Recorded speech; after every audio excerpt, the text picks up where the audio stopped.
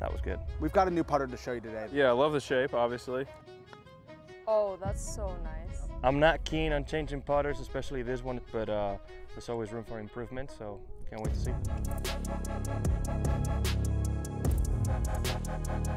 First impressions, what do you think of that blue finish? Oh, I like it. in. Especially now we have the sun at, at this position, because it's not, it's not shiny at all. This color is actually really cool. It's like a navy, dark blue. You probably heard a lot about our driver faces, Yeah. designed with AI technology. We finally brought that into the putter line. With the back of the insert, change the different depths and thicknesses behind the face. And our goal there is to try to make every putt you hit across the face come off more like a center strike. So you have the visible technology, like that's pretty cool. It's kind of like a Ferrari where you can see the engine. In the middle of the face, it's a little bit thicker.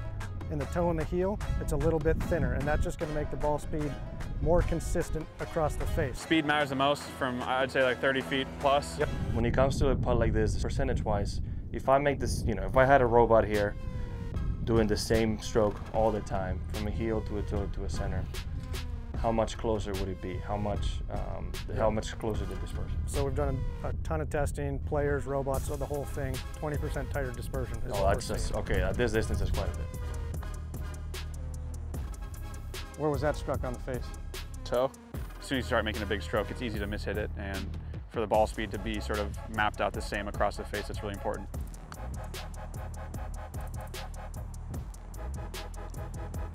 I just keep making it. The ball rolls pretty good and uh, speed good for speed control. Yeah. Yeah, overall I like it.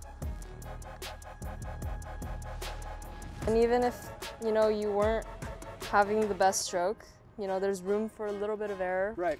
but it all comes out in the direction that I want it to. That was good. Yeah. 20% closer, 40 feet. I don't know what my average is, right? But if I can drop that from four feet to three feet, I know I'm going to pretty much close to 100% of two putts. It could be at least one to two shots a tournament, which can be a massive deal.